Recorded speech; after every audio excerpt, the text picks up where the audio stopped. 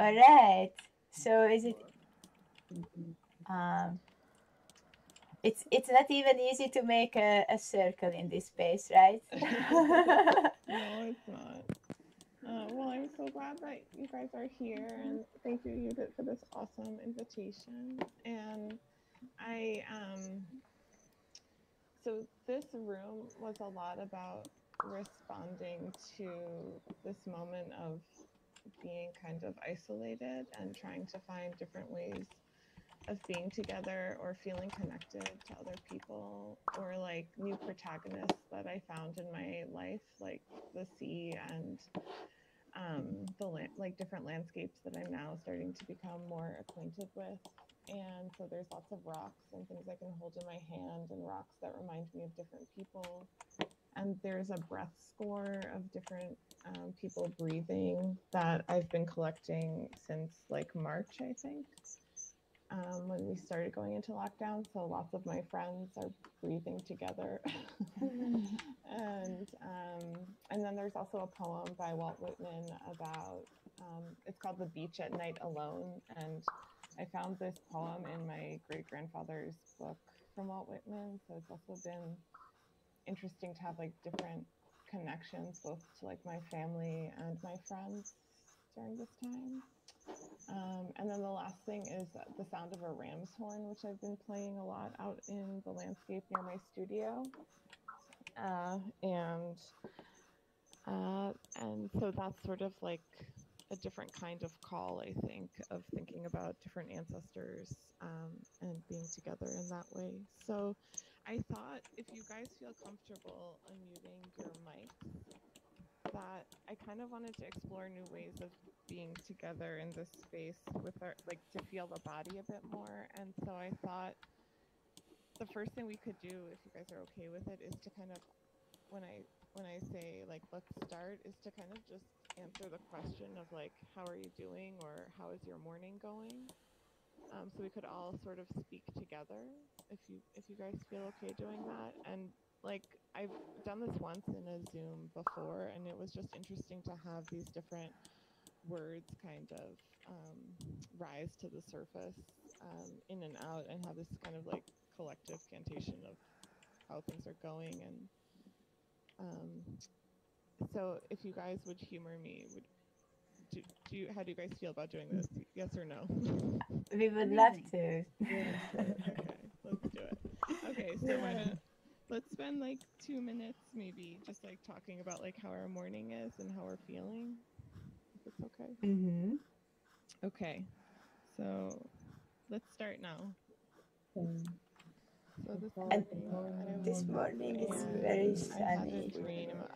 I'm so in um, transition and were so hard to find the place kitchen, how to and look it myself again in this new place. I didn't know what to But the do. sparkling I light was helps a lot. thinking about how dirty everything is It's kind of Cold and I so had alive taken with all this over little moss and lichen. had taken over And I'm so grateful that subconscious and entered I can experience all these different Um, physicalities. also really excited to be here.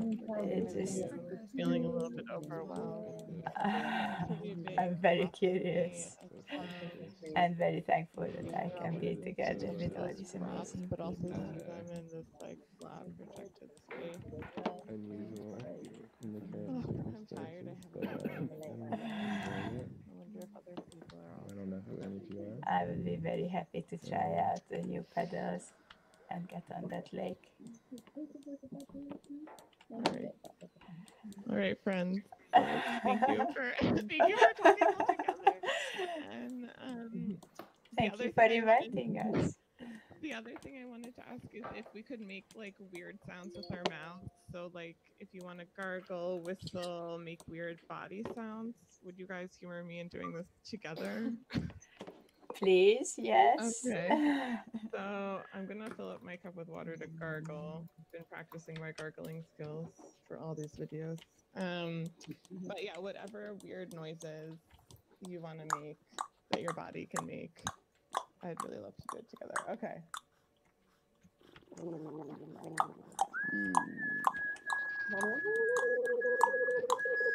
Yeah, yeah, yeah, yeah, yeah,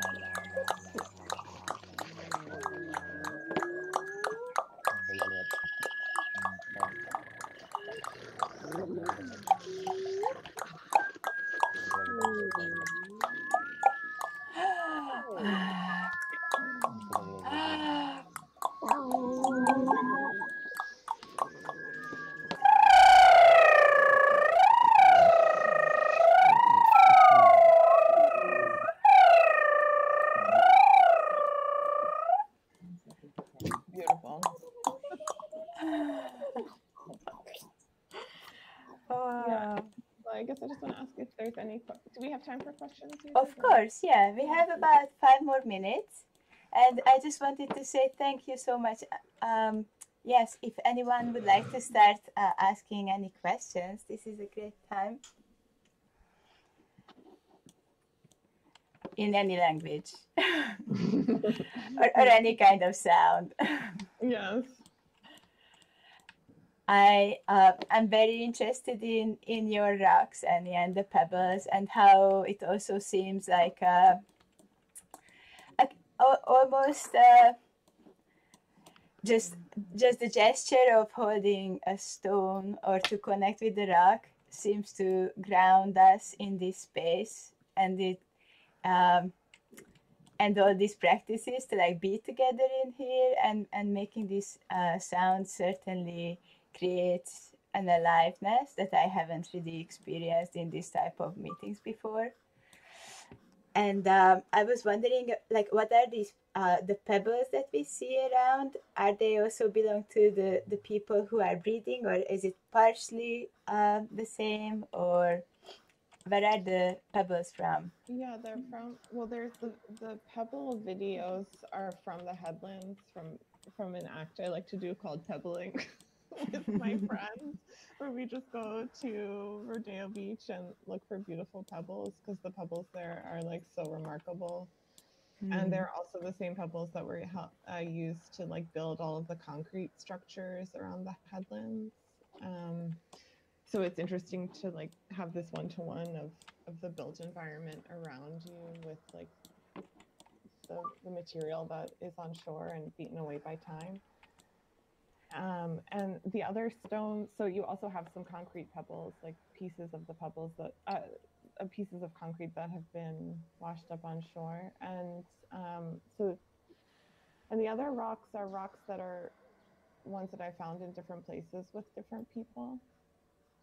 So they are connections to different landscapes, and it it's been really ama- like I don't know they've become more and more meaningful now that like being at home is really what uh, you know we travel like I feel like I travel through these different touches in some ways. Hmm. It's a now that I I have been in this transition, I was just thinking about like how do you how is it really grounding you? How hard is it to move with all the rocks, and how can you just actually be in in a place more rooted when you have a rock collection?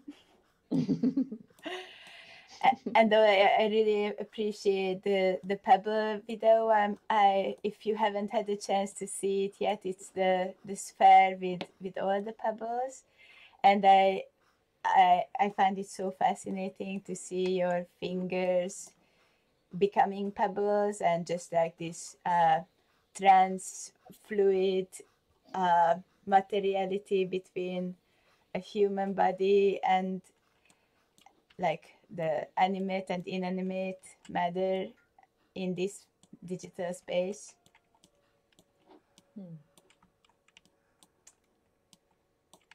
Yeah. I think like what I was like pretty excited by by working in here for the first time is that like how sound works and like how relational it is versus being so flat on Zoom and our bodies become so flat so that there's more space just in the way we experience this world.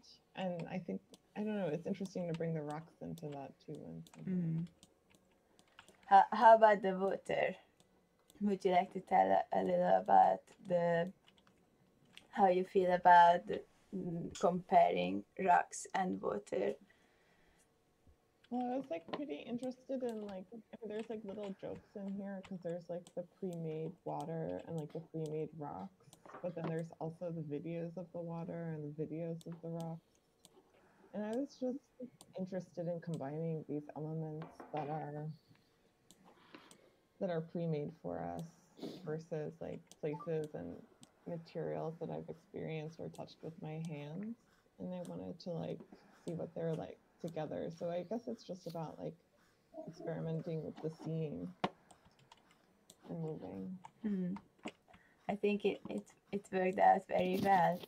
Does any any uh would like to ask any some questions? Please feel free to to jump in, move over her avatar, ask whatever you would like to, or share how you feel in here.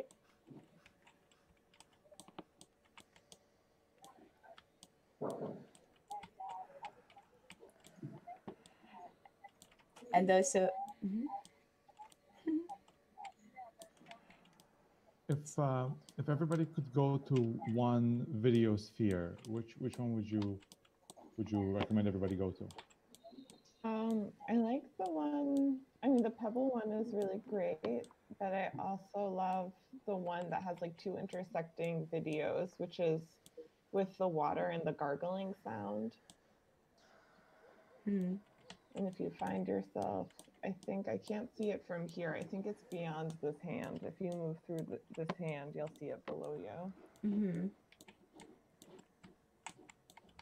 I, I have a question. I was wondering when you were building this out, did you have a plan as to like where you wanted things to be like from the start, or did you kind of just kind of iteratively add things and then see how you felt about them and then change them around after?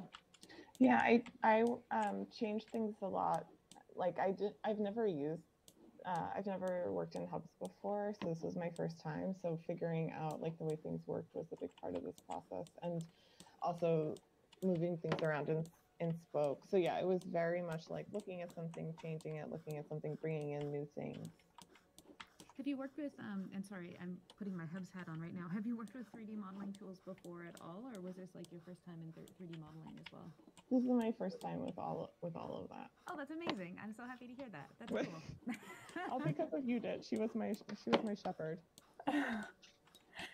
But but this is such a such a perfect tool and it's uh, simply easy and Elgin is always here for us to help us, which is thank you so much.